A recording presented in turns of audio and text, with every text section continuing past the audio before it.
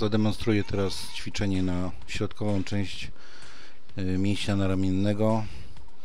Jest to mm, metoda wznosów mm, w siedzeniu. Siedzimy na dość wysokim podniesieniu, takim, żeby swobodnie mogły dłonie opadać poniżej pośladków.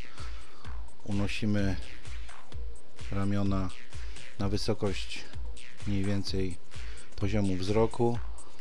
Mm, Mały palec jest y, wyżej położony od kciuka i ramię jest tak ustawione, że łokieć jest zgięty, nie jest zablokowany na pewno y, na stałe y, w ruchu.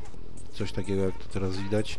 Akcentujemy moment zatrzymania w górnej fazie ruchu, czyli jeżeli możemy po prostu zatrzymać taki, taki e, lub przystopować ruch w tym momencie. Nie robimy ruchów zama, zamaślistych, takich zamachowych. Po prostu ciągniemy ciężar nadgarstkami do góry.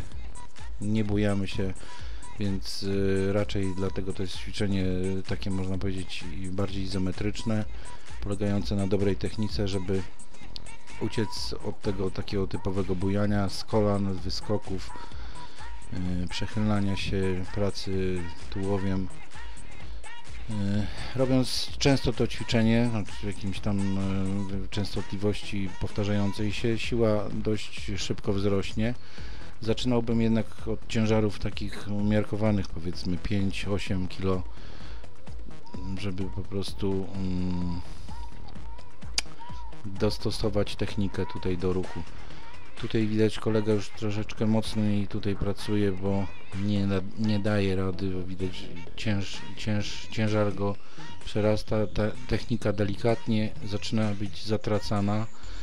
Yy, Nie przeważa nadgarstków, czyli nie, nie akcentuje tutaj można powiedzieć środka, środka mm, naramiennego.